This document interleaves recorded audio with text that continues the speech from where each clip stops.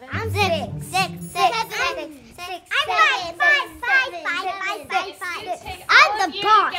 So who do you think you'll hang out with when you're old? Hmm, my brother, if I ever get one. Ooh, cool food. With my sister.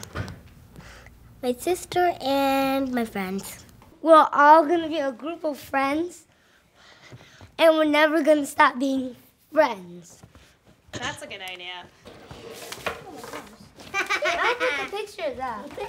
I'll put it in the pictures up.